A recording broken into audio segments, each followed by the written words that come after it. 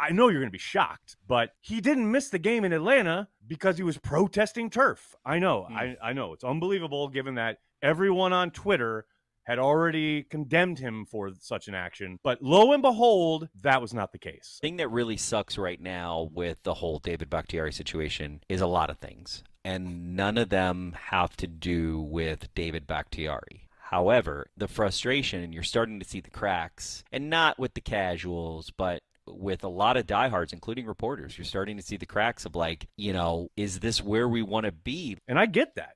I understand that. Some of the frustrations on the public side, I think, is just a lack of information. Everybody wants all the information right away. When it's like, just wait until he speaks, which he did today.